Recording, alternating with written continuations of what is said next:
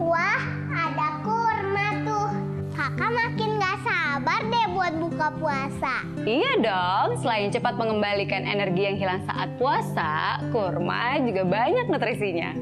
Ini kurma untuk kakak. Kalau buat adik, bubur sun rasa kurma. Nutrisinya lengkap dengan esen nutri, dibuat dari kebaikan kurma asli dan tanpa pengawet. Jadi bernutrisi dan aman buat adik. Jadi deh. Kita suapin adik yuk. Ayo. Ade, waktunya makan bubur sun kurma dan susu. Ah.